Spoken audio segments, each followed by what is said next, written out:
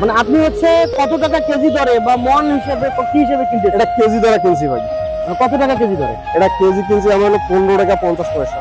আবার প্লাস কিছু নষ্ট আছে তো আচ্ছা, নষ্টটা কিছু দাম কম আছে।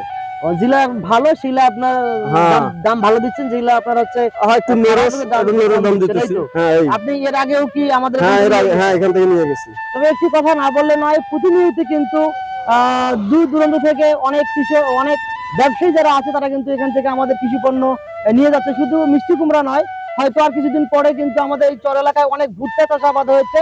অনেক দূর দূরান্ত থেকে কিন্তু অনেক পাইকার এসে অনেক সুলভ মূল্যে কিন্তু তারা এই ভুট্টা ক্রয় করে নিয়ে যাবেন। তবে আপনাদেরকে আহ্বান জানাব, যারা ব্যবসায়ী যারা আছেন, ভুট্টা ব্যবসায়ী হচ্ছে, ভুট্টা ব্যবসায়ী, মিষ্টি কুমড়া ব্যবসায়ী যারা আছেন, তারা অবশ্যই কিন্তু আমাদের এই ঐতিহ্যবাহী এলাকা, মহিপুর এলাকা আপনারা আসবেন।